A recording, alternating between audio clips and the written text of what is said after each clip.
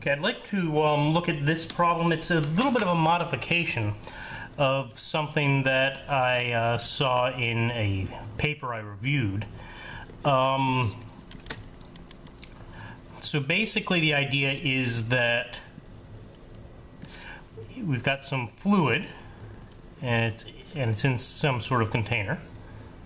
And I guess, you know, the fluid could come up to a reasonably high level. All we need to know is realize that this is a fluid, right? And inside this fluid, um, you know, we take some surfactants that will connect to um, ions, or or will maybe even ionize these um, these objects that we want to detect. So they could be pollutants. Um, the fluid could be a uh, could be blood. We might want to find some something out about what's in the blood, and we what we do is we have a detector here that can detect these charged particles as they come up through this little tiny hole um, if if they come through the hole. And to get them to the hole come through the hole we put on a nice um, electric field excuse me. Like I said I'm modifying this from what I saw in the paper. And you know, we'll have some sort of thing like this where we have a battery or something that that more or less um, gives us an electric field here, which will pull these um, that will pull these negatively charged ions up, right? Positive, negative goes up to the positive plate. So we, we want to have something like that, right? and um, basically the, the current through here is going to be proportional to the concentration of the nasties down here. So maybe that's what we want to find is the concentration, but really we want the current. And so we see the current and we, you know, we set our voltage and all that other stuff and we want to know what the concentration is, right? So uh, that's what we'll do is we will um, say we're given uh, some charged capacitor plates.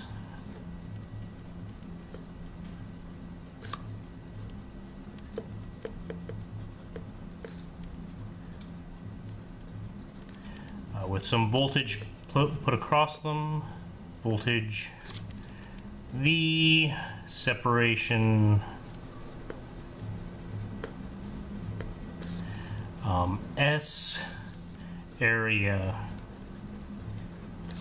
A, so this is S and the square of this thing is A basically. So this is the square root of A, more or less. Um, a ions, and those ions have a uh, charge of Q and a um, mass of M. And we'll have them have a concentration of C. And um, they'll move through a constriction this little constriction here.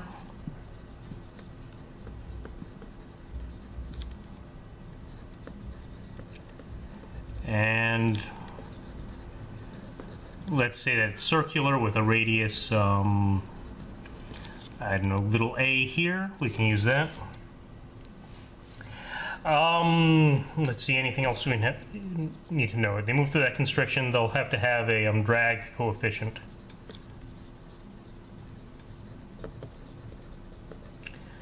B and that way we'll um, that way we'll be able to sort of equalize everything. Actually, we, we could equalize everything just with the electric field, but why make things easy, right? Um, and let's see, anything else we need? Not really. So,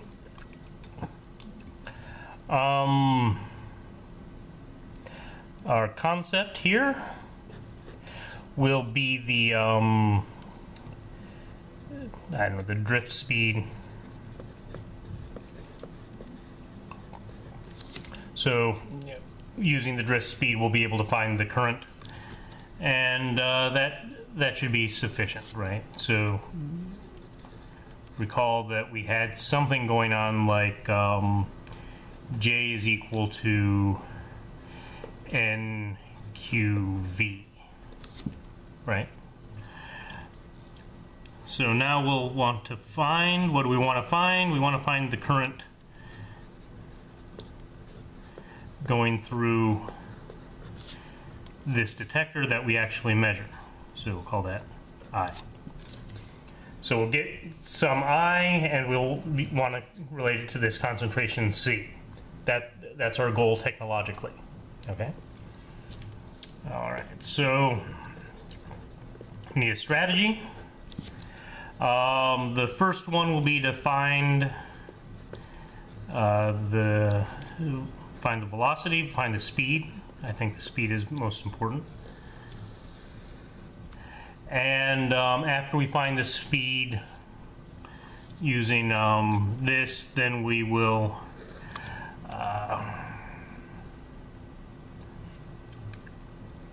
and we will find the um, current density.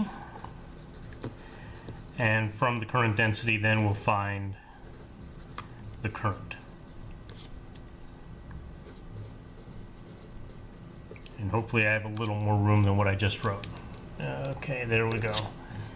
Yeah, I think I think you can live with that that amount there. Um, so we'll do uh, we'll find the find the velocity. We'll just say that you know we've got our free body diagram. Uh, we know that we want the gravity, the gravitational um, interaction, the weight, right, which is coming down here to um, partially counteract the um, electric force and we'll want the um, drag force to help the weight. Okay. Um, so the electric force is just Q times the electric field, right? And the electric field of this guy is basically V over um, S. So we have QV over S. And then we have, um, what's going on here? Then we have the drag velocity and the weight. The weight is mg plus the drag velocity, which is b uh, vd squared. All right. So we subtract that out and divide by b, and we have um, the drift speed is equal to qv minus mgs all over bs okay because we divide by b and we distribute this s with the mg um, so, so that's how fast these beads are going in the liquid. So this is this is about as difficult as what, what was actually in the paper. There's a little bit a little bit of a difference with cross-sectional areas. That all gets absorbed into this B. we don't really have to worry about that unless we're trying to optimize the size of the beads. Um, so then we find our current density. Uh, like I said, J is equal to NQS, or we really don't care about the direction. We, we know what the direction is, basically. Um, so N in this case is just the concentration, the number per unit volume, right? Of these charge carriers with, which have a charge Q. And um, I don't know why I said S, it's VD. And so we have CQ times QV minus MGS over BS times the square root of all that QV blah blah blah. So everything's looking okay so far, right? We're, we're happy with that. Um, what we need is the current, which is just A times J. Uh, this area here, right? Uh, that area is the area of this constriction. So let's just say, okay, that's the area of this constriction. We'll call that um, pi a squared. We'll multiply that by c and q and all the good stuff. qv minus mgs divided by bs. And that then we're done. We're okay with that. All right. So if you think that's good, I think that's good, and we can all be good. Bye now.